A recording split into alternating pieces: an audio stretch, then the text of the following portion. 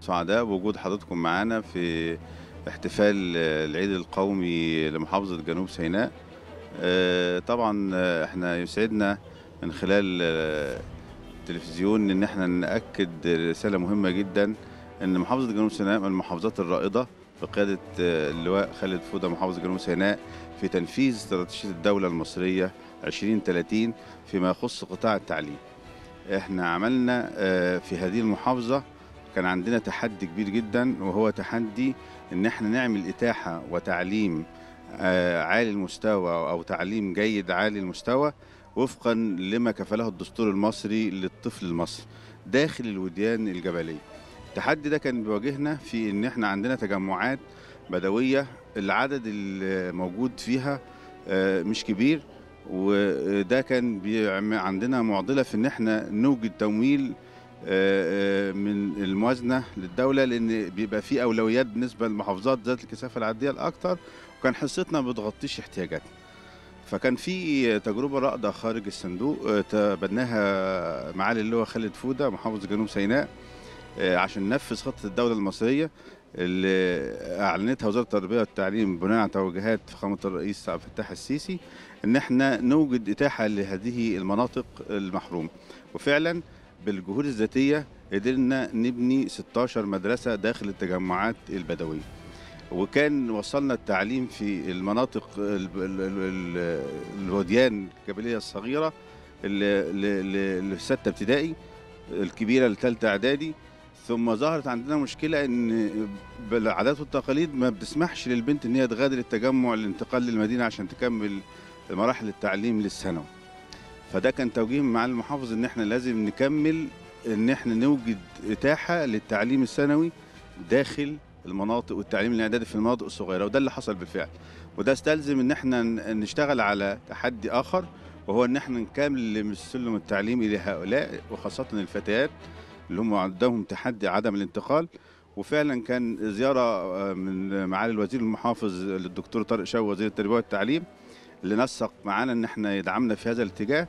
ومعالي الوزير تفضل بدعم المحافظة بسبع فصول ذكية. سابقة التجهيز هذه الفصول مجهزة على أعلى مستوى بشاشة ذكية ومكيفة وتم افتتاح آه، تم تركيب سبع فصول في الأماكن اللي إحنا عاوزين نعمل فيها إتاحة.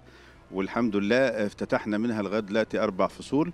آه، بالأمس القريب كان واحد منهم في راس سدر وثلاثة في وادي منظر اللي هو كمل مرحلة تعليم ثانوي. يعني أصبح عندنا البنت بتطلع من الوادي ما تتحركش منه بس بتطلع معاها شهادة آه، دبلوم فني تجاري أو فني زراعي مدينة طابة من ال- المدن اللي, أوجدنا فيها إتاحة. عندنا قرية مدرسة تعليم أساسي لثالثة إعدادي في قرية طابة الجديدة آه، دي ضمن مساكن القرية. وفي آه، مدرسة في طويبة م- منطقة اسمها طويبة ودي مغطية حاليا الاحتياج الفعلي ولكن إحنا عندنا دلوقتي الدراسة القادمة ان إحنا نوجد في طابة تعليم ثانوي. أما قرية آه، النقب اللي انضمت آه، مؤخرا إلى جنوب سيناء فدي فيها آه، آه، مدرسة متعددة المراحل يعني فيها آه، ابتدائي وإعدادي وإن شاء الله مخطط ليها بأوامر معالي المحافظ إن إحنا ننهج فيها نفس النهج اللي نهجناه مع ال- القرى اللي كان موجودة عندنا ومخطط لها مع الأبنية التعليمية وكمان قوات القناة آه، يعني مخطط معاها إنها تبني مدرسة تجارية فيها وإحنا هنرفع كفاءة المدرسة الحالية وهنعمل في منطقة تانية تبعد عن التجمع الحالي حوالي 15 كيلو مدرسة للمنا... للناس الموجودين في المنطقة دي إن شاء الله. إحنا عندنا نوابغ في هذه الأماكن. ال- إحنا دايما معالي الوزير المحافظ بيزور معانا المدارس والأولاد دول متميزين الفطرة س- سليمة والذكاء فطري والتوجيه وخاصة بعد تطبيق الدولة المصرية لاستراتيجية المنهج المناهج الجديدة اللي بدأناها من أربع سنوات وصلنا فيها الرابعة ابتدائي دلوقتي دي عملت طفرة كبيرة جدا إلى إلى دول كانوا عندنا أرض خصبة وعندهم استعداد لأن هو أصلا ناشئ في بيئة بدوية بتربي آه، الطفل على ال- ال- القيادة أو الرجولة.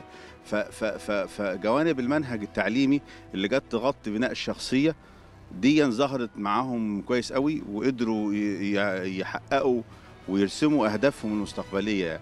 يعني زياراتنا وإحنا بنت- بنتناقش الأولاد دول كل واحد دلوقتي قدر من خلال تدريبه لأن المنهج أصلا الدراسي بيربيه إن هو يوجد ليه هدف من كي جي 1 فده كان واضح فيهم وعندنا ناس منهم تميزوا على فكرة عندنا ناس من الوديان التحقوا بالجامعة الألمانية عندنا ثلاث منح خدوهم ناس خارجة من الوديان للجامعة الألمانية ومنحة للجامعة الأمريكية و وناس منهم درسوا طب وناس منهم درسوا هندسة. معالي ال- ال- الوزير المحافظ يعني من الداعمين جدا للتعليم ومن أحد الملفات اللي ما بتغيبش عنه ابدا سواء آه، في الناحية التعليمية وناحية الأنشطة وباعتبارها الجزء الأساسي في بناء الشخصية لأن هي هي هي المنفس الطبيعي لل- للطفل اللي بيخرج فيها القدرات واللي بنقدر نكتشف منها المواهب اللي هو أيضا بيتبناهم وبيكافئهم وده آه، دايما آه، بيعمل معانا أو بيكافئ معانا في كل نهاية فصل دراسي. آه، مهرجان الأنشطة بيكافئ فيه المتميزين